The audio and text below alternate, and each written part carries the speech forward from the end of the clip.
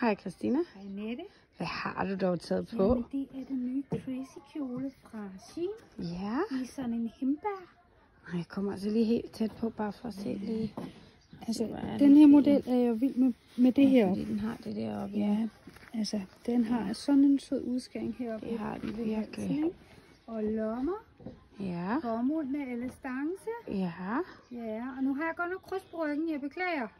Ja. Men, øh, du skal jo lige se den bagfra. Ja, man skal lige se den bagfra Og øh, også. Ja. fuld sol.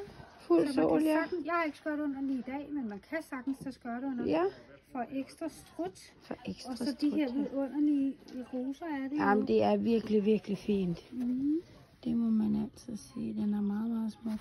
Og den sidder bare godt. Den har Den en sidder glæde. godt, ja. Noget af det, jeg godt kan lide ved sine kjoler, er faktisk, at den har lidt mere længde på, og som Ja. er lidt mere tro mod, mod øh, hvad kan man sige, stilen eller alt. Altså, Vintage-stilen, ja. vintage-stilen, ikke? Så lige, lige lidt mere længde på. Ja, Øh, det kan jeg meget godt lide.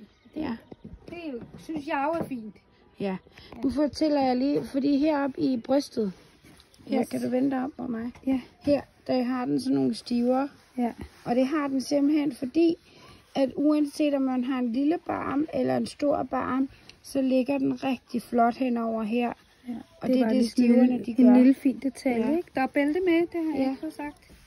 Yes. Det er der. Altså uanset om du bruger den her kjole med eller uden skørt, så er den bare rigtig Så er den vidunderlig. Både til, jeg synes jo til hverdag, men også til dig, som skal til fest, ikke? Ja, Men lidt, meget lidt, så kan den jo spices helt vildt op. det kan den i hvert fald. Tak for det. Hvor kan vi prøve den? Oh, ja, hvor kan man prøve den? Ja, i Roskilde hos Lille Malene. Det er da det, man Jeg kan. tror, vi har Danmarks største udvalg af kjoler. Ja. Både til store og små. Ja. Ja, vi ses hos Lille Malene. Hej. Hej.